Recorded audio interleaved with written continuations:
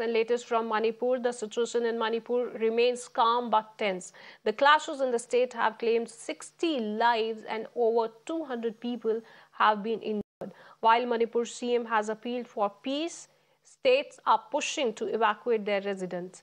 Batch of students were seen returning to their home states after being flown out of Manipur. Manipur CM has committed ex gratia of rupees 5 lakh to the next of the kin of the deceased internet services remain suspended in Manipur. इसी घटना में जो जान गई है as per the available report age of now around sixties सब innocent हैं।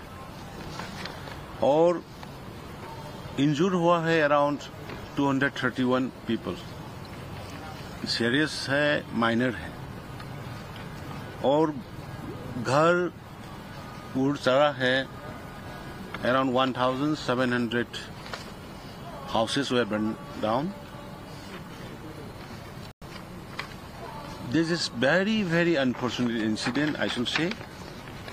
And uh, I appeal to the people of the state of Manipur to come and uh, we should together try to bring peace in the state at the earliest possible.